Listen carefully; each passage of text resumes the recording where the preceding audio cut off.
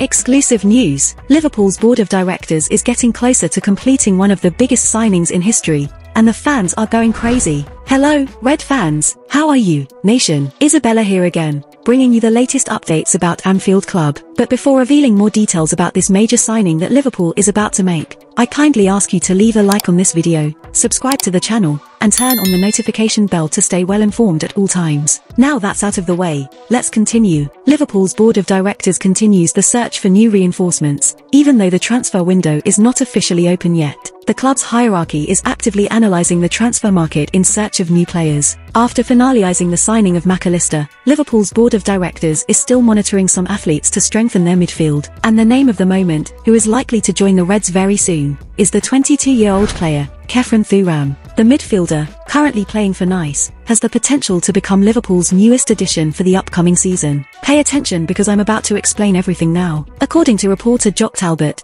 Liverpool has agreed personal terms with midfielder Khéphren Thuram. Seeking to revitalise their midfield, Liverpool intends to do everything possible to secure the player's signing. Thuram is a technically skilled midfielder known for his dribbling and passing abilities. He has been gaining more space and recognition in French football and is attracting interest from various European teams. There have already been two meetings between Liverpool's officials and the player's representatives. However, an agreement has not been reached yet. Nevertheless, this can change at any moment, especially if the player requests Nice to facilitate his transfer, which might happen very soon. But now, I want to hear from you, Red fans. Do you consider the signing of Khéphren Thuram to be a good reinforcement? Share your opinion in the comments below. I'll say goodbye here, and for more information, click on one of the cards on the screen. Best regards, and until next time.